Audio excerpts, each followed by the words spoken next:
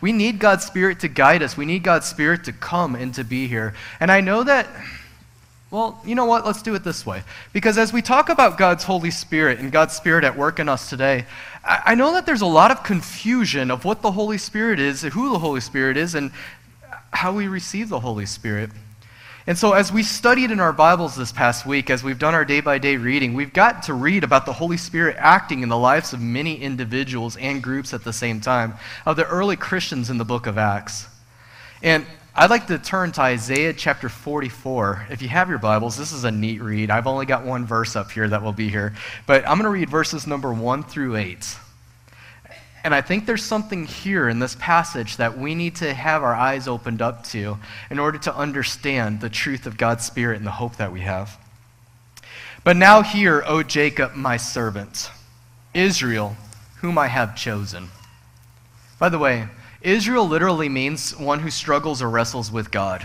And as I pointed out earlier this year, as we talked about Jacob wrestling with the angel, that we as God's people today are people that struggle, that wrestle with God. We are people that are willing to grapple with Him in the midst of the confusion of what's going on in the world today, of maybe even health problems or financial problems, and say, God, I will trust you. I'm willing to struggle with you in the midst of all this. Thus says the Lord, who made you, who formed you from the womb, and will help you. Fear not, O Jacob, my servant, Jeshurun, whom I have chosen, for I will pour water on the thirsty land. Randy, I don't know um, how God's Spirit guided you to give that communion talk, but the whole time you're talking, I'm like, he read my sermon notes. I will pour water on a thirsty land and streams on the dry ground. And here's what the Spirit does I will pour my spirit on your offspring and my blessing on your descendants. They shall spring up among the grass like willows by flowing streams. This one will say, I am the Lord's. Another will call on the name of Jacob, and another will write on his hand, the Lord's. The name himself by the name of, and name himself by the name of Israel, or the name, I struggle with God. Thus says the Lord, the King of Israel, and his Redeemer, the Lord of hosts I am the first, and I am the last. Besides me, there is no God. Who is like me? Let him proclaim it. Let him declare and set it before me, since I appointed an ancient people. Let them declare what is to come and what will happen. Fear not, nor be afraid. Have I not told you from of old and declared it? And you are my witnesses. Is there a God besides me? There is no rock I know, not any. Isaiah gets this message from God, and it's a powerful message where God says, I'm going to pour out my spirit. It's going to happen, and it's going to be good. And then he says this about the pouring out of the spirit it's going to be good for your young ones, it's going to be good for all of your descendants. Pay attention to this. But as we get into the book of Acts and as we read what is said in Isaiah, our focus gets to those ancient people that are called out to be the people that the Spirit is poured out on. And we get distracted by this idea, and I don't know about you, but as we've read through the Bible throughout the year, it's kind of hard to remember the promises that God to made, made to Abraham as you go through. Because you look at those promises and you go, oh, I'm not sure those promises are for me. Because it's made for the Jewish people the Hebrews, the people that came out of Egypt, the people that followed the law of Moses, that went to the temple and knew all about that culture and all about that history. Not necessarily about me. I don't think I have any Jewish blood in me. And so we read those stories and we forget that God said over and over and over again in the promises, the covenants that He made with His people, that you will be a blessing to the nations. We usually just remember the parts that you will be blessed and have a promised land. You will be blessed and your children will be many. We read about how David will be blessed and that he'll um, be, his, his son will sit on the throne forever. And we read about the focus and we look at those stories and that history and how it focuses on them, on that little small sliver of land on the east side, southeast side of the Mediterranean, and how everything was focused on that point how God spoke and lived in them and through them, and it seems like, only in them. But we miss those parts as we go through Scripture, as we, if we focus on that, about how God had priests that came not from the Jewish people, such as Melchizedek, or Balaam, who lived far off, or how Abraham actually came from Ur, the Chaldeans, of how God's word was throughout the whole entire world. And we miss that those covenants pointed to a truth that the good news that the people who struggle with Israel, it's for all of creation and for all of what God's doing.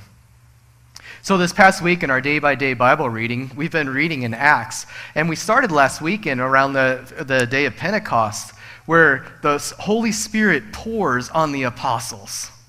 And they get tongues of fire above their head, and they go outside in that morning, and they're speaking in tongues, in languages that other people, 12 other nations, hear them in their own tongues. Interestingly, there's 12 apostles, they hear 12 different languages.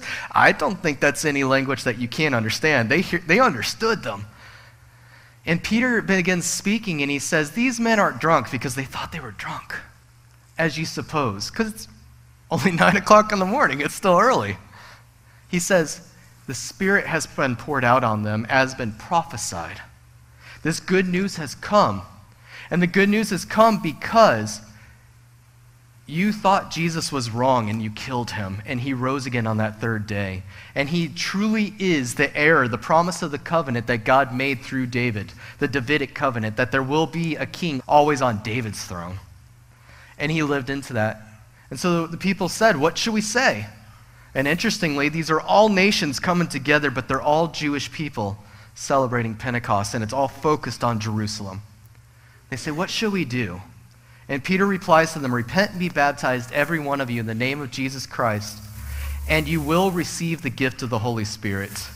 This promise is for you, for your children, your children's children, and the generations that follow you until the end of time.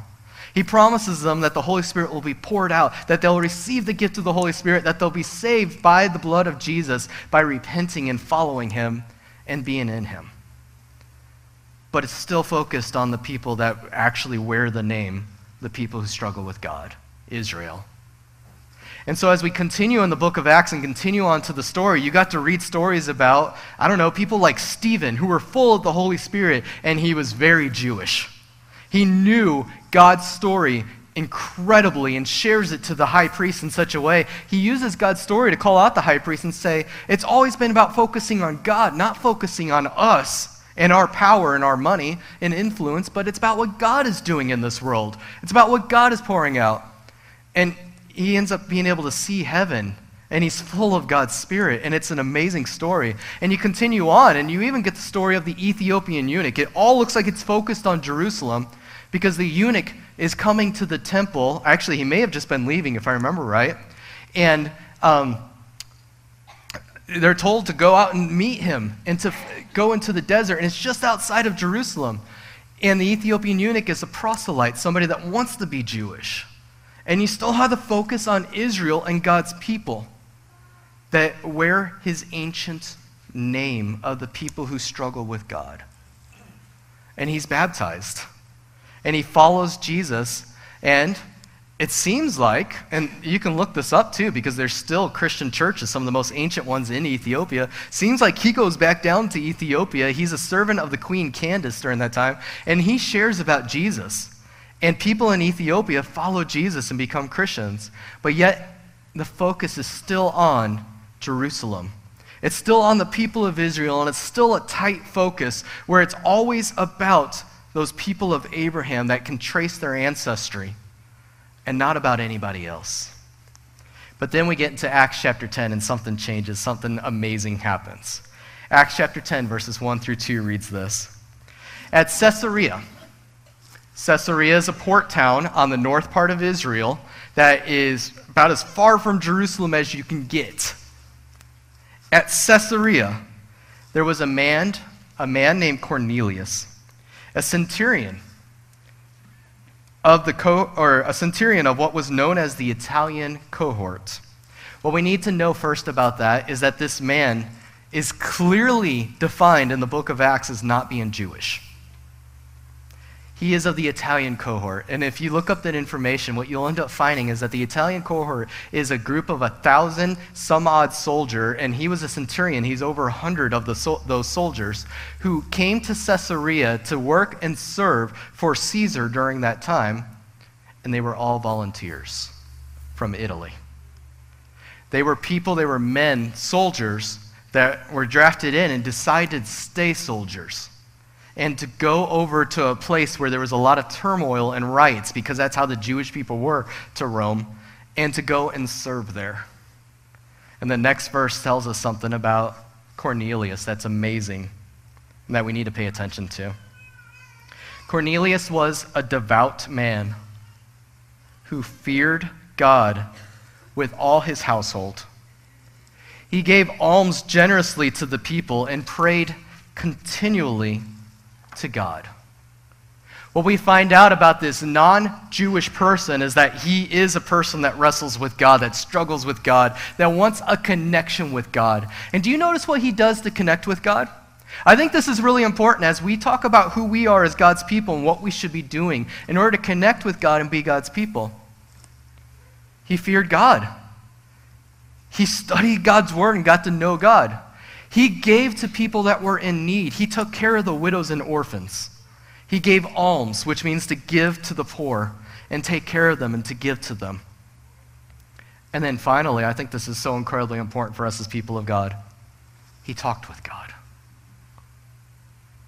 as a man who probably felt so incredibly distant from God because during that time they believed that God was in the temple in Jerusalem that that's where the place where heaven and earth met. That was the only place you could really connect with God. Maybe that's why he joined the Italian court so that way he could get closer to Jerusalem and just maybe feel that much closer to God. During that time he prayed to God and communicated with him and wanted connection with God the story continues on and says, About the ninth hour of the day, he saw clearly in a vision an angel of God come in and say to him, Cornelius. And he stared at him in, the t- in terror and said, What is it, Lord? And he said to him, Your prayers and your alms, your giving to the poor people, have ascended as a memorial before God. And now send men to Joppa and bring one Simon Peter, who is called Peter. He is lodging with one Simon, a tanner, whose house is by the sea. When the angel who spoke to him had departed, he called two of his servants and a devout soldier, and among those who attended him, and having related everything to them, he sent them to Joppa. So he gets a message from God and says, Send for Simon Peter. He doesn't even know what's really going on. He just knows that he should be finding the Simon Peter and that God is happy with the man that he has been with the man who fears him, who's seeking him, wanting to be closer to him and connect with him. And we could read in between, between the lines there, who might not have ever felt close to him because he's not Jewish. He's not of the covenantal promises that were made as far as the Jews have been declaring throughout the centuries. And wondering if he can connect, if he's really good enough, if he can connect. So God says in the midst of that, Go ahead and go meet Simon Peter and find out more about him. So, Simon at Peter at this time is a little bit south uh, by the sea, by the ocean in Joppa. We're not really certain why he's there. I'm not sure scripture really explains it. Maybe he's having a vacation, probably not. Maybe it's because of the persecution going on in Jerusalem during that time. He ends up with Saul and all that bad stuff Saul's been doing. He ends up at Joppa and is planting a church there and working with Simon the tanner to plant a church. That's probably what is going on. So, Peter, being who he is, why the, those guys are coming to meet him, which says the next day, as Cornelius' men were on their journey and approaching the city, Peter went up on the housetop about the sixth hour, which is lunchtime, to pray. And being that is lunchtime, he became hungry and wanted to eat. And Peter is given a vision as well during this time. See, when Jesus left, when Peter, James, John, and the other apostles saw Jesus ascend into heaven. Jesus said this to them in Acts chapter 1 that all power and authority in heaven and earth has been given to me. And he says, Go and make disciples. And in Acts, as opposed to Matthew, it says, First in Jerusalem, then Judea, then Samaria, and then all, to all the world. Well, so far they've been focused on the bullseye, the middle point, Jerusalem, that place where heaven and earth meets at the temple. And what's interesting, it's the same place where Jesus gave his life and the curtain tore. And they've been focused on that and focused on Judea, and now he's focused on Israel. He's at the outskirts of Israel in Joppa, but he's still focused on the Jews, the Jewish people. And so, while he's talking to God, interestingly enough, this whole story starts with Cornelius praying, and now we've got Peter praying and talking to God.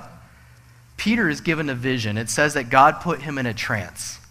And so, what Peter sees is this blanket come down from out of heaven, and in the blanket are animals, lots and lots of animals.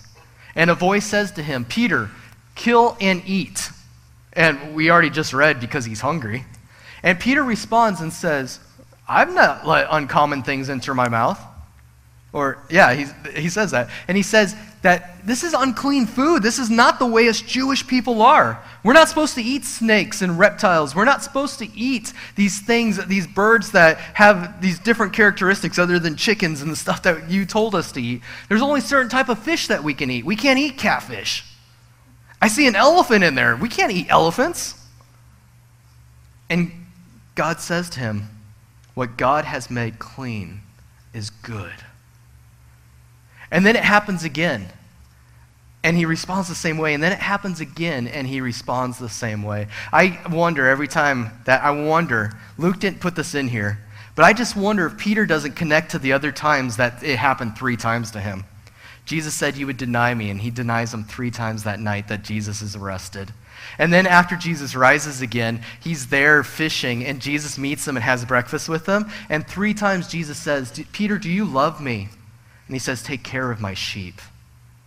I wonder if he's connecting to that and connecting this story going on. So Peter's still wondering what's going on, why he saw this blanket come down from heaven three times, why he says to God three times, I don't eat unclean things. And God says, It's okay, I've made it clean. And he's been wondering what's going on. And at that time, Cornelius' men show up, and they come and they take Peter over to Cornelius. So Peter opened his mouth and said, Truly I understand that God shows no partiality, but in every nation, anyone who fears him and does what is right is acceptable to him. Well, what we read in Isaiah chapter 44 with the outpouring of the Spirit, it sounds like it's all focused on God's people of Israel, on the ancient people. But Peter looks at this and goes, Oh, we must have got something wrong we must not have understood because God had to show me with the blanket and animals coming down that there is another way, that a way that is of God and that is good. As for the word that he sent to Israel, preaching good news of peace through Jesus Christ, he is Lord of all. You yourselves know what happened throughout all Judea, beginning with Galilee after the baptism that John proclaimed. How God anointed Jesus of Nazareth with the Holy Spirit and with power so he says, You guys all know. And he's probably talking to Cornelius and his family because they have been there long enough to know this. How God anointed Jesus to be the Messiah. And that anointing was in the outpouring of the Holy Spirit. He went about doing good and healing all who were oppressed by the devil, for God was with him. And we are witnesses of all that he did, both in the country of the Jews and in Jerusalem do you see that he's still focused on the Jewish nature, the, the ancient people, the people that struggle with God? But they put him to death by hanging him on a tree. But God raised him on the third day and made him to appear, not to all the people, but to us who had been chosen by God as witnesses, who ate and drank with him after he rose from the dead. And he commanded us to preach to the people and to testify that he is the one appointed by God to be the judge of the living and the dead. To him, all the prophets bear witness that everyone who believes in him receives forgiveness of sins through his name. Peter witnesses and recognizes that the vision that's given to him is that they have been short sighted to the kingdom of God and what God can do. And his eyes are open and he realizes that everybody that trusts in God can be the people that struggle with God, can be those that are saved. In Randy's metaphor in his, his story that he shared, everybody can get in the boat and trust in the direction and go and float and be good in God's kingdom and be right. So Peter replies in verse 34 through 35. I love the way the New Living Translation says this. I see very clearly that God shows no favoritism. In every nation, he accepts those who fear him and do what is right. Brothers and sisters, I know that this happened almost 2,000 years ago. And I know that supposedly we don't show favoritism anymore. But I want to call us out. I think sometimes we do. I think sometimes that you and I, because I know I've thought this, think that there are people that Jesus cannot save, and so we don't talk to them. We're scared to associate with them because we're scared that their, I don't know, their dirtiness might rub off on us, or their whatever it is that we don't want to connect to might not be good for us in our walk with God. I wonder if we need to have our own blanket vision where God says, What I make clean is clean. And we need to have our eyes opened up to the truth that there are people around us that sometimes we overlook either because of handicapness, because of the color of their skin, because of their how wealthy they are or how rich they are, whatever it is. We are short sighted and we miss this truth that Peter eventually gets. And Peter proclaims profoundly and sees by the outpouring of the Spirit that this is true. I see very clearly that God shows no favoritism. In every nation, he accepts those who fear him and do what is right. And the reason why we need to see this, brothers and sisters, is because he shows no favoritism to us as well. Jesus came to seek and save the lost, regardless who we are, regardless of the things that we've struggled with, because through his Spirit, he can guide us in better directions than we could ever walk in on our own before. I don't know what it was that you've struggled with before following Jesus, but if you've been living and following his Spirit, you've walked out of some things that have made you clean that has led you and cleansed you from the struggles and the guilt that you have struggled with before in the past. Because that's what God does. God saves, God heals, God pours out his spirit and gives water to a dry land and fills up rivers that the trees and the life may be abundant and may be good. God brings beauty to what was darkened, to what was made bad, what was broken. And he brings healing and rightness to this. And so Peter notices this and says, I see very clearly that God shows no favoritism. Brothers and sisters, may we be like Jesus and quit showing favoritism. That doesn't mean you can't have your best friends and the people that you connect with and your family that you get along with and hang out with and you're comfortable around them. That's okay. But it's not okay if that's all you do. Jesus called us out into this world to be uncomfortable at times, to have courage, to be brave, and to step up into a world and wonder how, what God is going to do because God is doing something that is beyond our imagination and our means, our ways to know. And our whole goal is to connect with that and be where God is going in that direction. And we're not going to do that if we always sit in our comfortable seats with the people that we're comfortable with. But it will happen if we trust Him and be with the people that God is with. And we're those people. we're the people God is with. We are the sheep of his pasture, and he calls us out to that. So I encourage you, at times this week, be willing to talk with somebody that makes you uncomfortable, as long as you're willing for the Spirit to guide you and to give you the right direction as you go. I find it really interesting in the book of Acts and at the end of Jesus' life in multiple places. It says for the people that follow God to not necessarily prepare for this, like be lawyers and this, have this long oration as a response of what you're going to say to people and their differences. Instead, he said that all throughout Scripture it says, let the Spirit guide you. He will give you the words to say and to know what to do and to love. And I love the truth that as you see all these people that the Spirit are guiding, is they're eating and being with people. Peter even mentions this as he goes to Cornelius' house. He, the very first thing he says when he gets there, by the way, this is really bad evangelistic strategy. If you're going to somebody and you're like, yeah, I wouldn't normally come over and hang out with you because uh, you're different than me. They're not really going to listen to you very well. Peter gets to Cornelius' house and he says, You know, Cornelius, because you've been hanging out with us Jewish people long enough, that we don't go and eat at Gentiles' houses because it makes us unclean. But God has shown me a better way. God has shown me that the promises that he had made that we've forgotten about, he keeps his promises. That all the nations will be saved. He continues on. While Peter was still preaching and saying these things, the Holy Spirit fell on all who heard the word. And the believers from among the circumcised who had come with Peter were amazed because the gift of the Holy Spirit was poured out even on the Gentiles.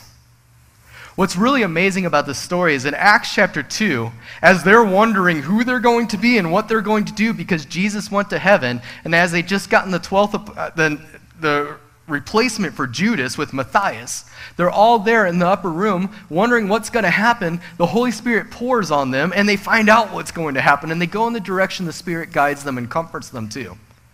Well, as he's there sharing this good news, sharing the word of God with Cornelius, the same exact thing happens. And it says that Cornelius and his family were speaking in tongues, and I think this is powerful. It's not necessarily the speaking in tongues part that the Holy Spirit leads towards direction in. We get so fixated on that.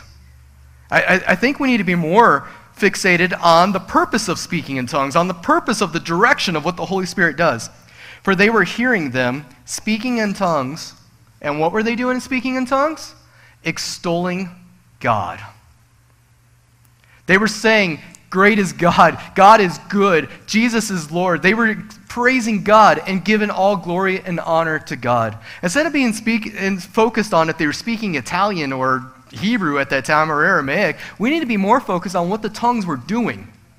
And when Peter, James, and John on the day of Pentecost are speaking in tongue, Peter says very clearly in a sermon, they were sharing the good news of Jesus and Him crucified and risen again. And guess what they're probably doing right now? These Gentiles, these people that are not of the people that struggle with God but are welcomed and invited in, in the midst of their differences. Look at what they're doing. They're praising God. The Holy Spirit came upon them, and they are praising God. So Peter speaks up. Then Peter declared, Can anyone withhold water for baptizing these people who have received the Holy Spirit just as we have? And he commanded them to be baptized in the name of Jesus Christ. There's something wonderful and powerful here. And again, Randy, thank you for your communion talk because this, this is the direction that we need to focus on. There's something wonderful and powerful here that we find out happens as a means of being in the direction of praising God and being somebody that gives to poor people and that loves what God is doing in this world and his salvation. They begin by being like Jesus, by following him, by following him in baptism. Peter's remark is this he looks around, he's like, What's going on here? We weren't supposed to even know that the Gentiles could do this. We were supposed to stay in Jerusalem and Judea. We ain't even gone into Samaria. Well, actually, they had gone to Samaria, but Peter's like, What's going on? And he finds out that everybody who trusts in the Lord can be saved because God shows no favoritism. And so he encourages them to be baptized. It's interesting because he actually, in the last verse, it says, and he commanded them to be baptized in the name of Jesus Christ. Please don't take that word command as a, like, a, um, this is an order for the Italian cohort. This is what you have to do as a general. That's not what's being said here. What's being said here is this is a gift in the direction of what God is doing in this world. And to join into this direction, here's what you do. Here's who we are. We are people that join Jesus in baptism. We're baptized into his name. Brothers and sisters, again, there's a lot of confusion in this world about the direction that God is going. But if you look at Scripture, it's pretty simple. Here's who we are supposed to be we are people that take care of poor people.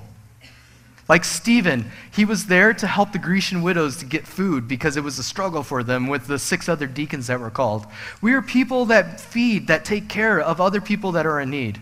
We are people that are there with the sick, with the needy, with the lost. We're people that love on others because God does not show favoritism. He loves all of His creation. We are people that trust in His ways. That when Jesus is baptized, we don't say, huh, I wonder about the theology of baptism and if we should do it. We just go, oh, Jesus was baptized. I'm going to follow him. And I'm going to trust that this is a place of cleansing and renewal.